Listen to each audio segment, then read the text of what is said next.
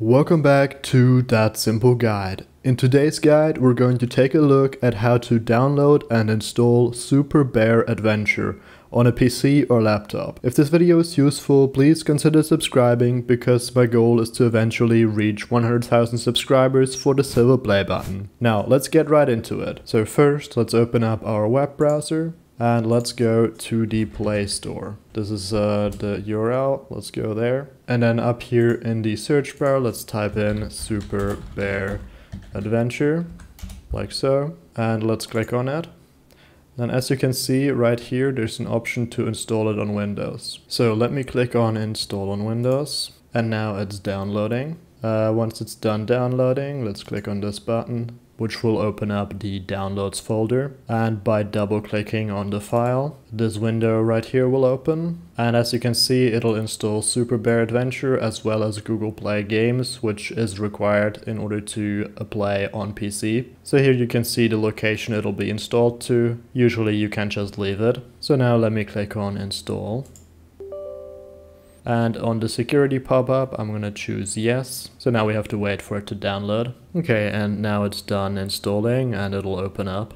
And as you can see, it now asks me to sign in with my Google account. And if before you've played Super Bear Adventure on your phone, you can use the same account you used to sign in on your phone and that should that should let you sync your progress from your phone. So let me click on sign in. So as you can see, that sent me to the browser and I'm gonna have to enter my email address. So let me do that real quick and click on next. Now I'm gonna enter my password. So this is a security question to make sure it's the official Google Play Games app. So since I'm sure that I downloaded it from Google, I can go ahead and click on sign in. And if you haven't created a Google Play Games profile yet, it's going to ask you to create one here. So it just wants me to create a username and accept the terms and privacy. And that's pretty much it. So let me do that real quick. Okay, so now that we're signed in, we can install Super Bear Adventure. And to do that, we're just gonna have to confirm that here. Now we can choose if we wanna create a shortcut on the desktop. And there we go. Now it's installed and I can click on play.